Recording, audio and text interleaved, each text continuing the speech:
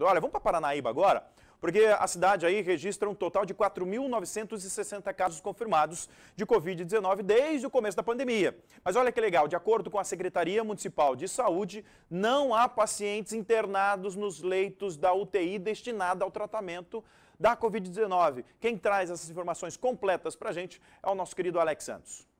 Bom dia, Rude. Bom dia a todos que acompanham o TVC Agora e Paranaíba registra um total de 4.960 casos confirmados de Covid-19 desde o começo da pandemia. Os dados são referentes ao boletim epidemiológico de 17 de outubro, divulgado pela Secretaria Municipal de Saúde. Conforme o boletim, a cidade não tem nenhum caso suspeito de contaminação pelo vírus.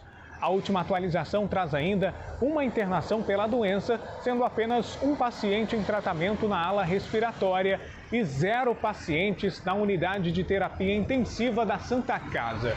Ao todo, 47 pessoas cumprem isolamento domiciliar. 4.760 estão recuperados e 6.280 casos foram descartados. Paranaíba registra um total de 152 mortes causadas pela Covid-19.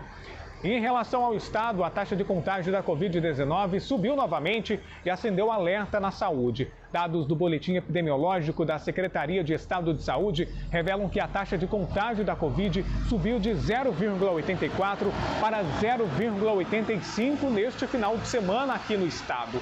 Isto significa que 100 pessoas infectadas transmitem a doença para outras 85.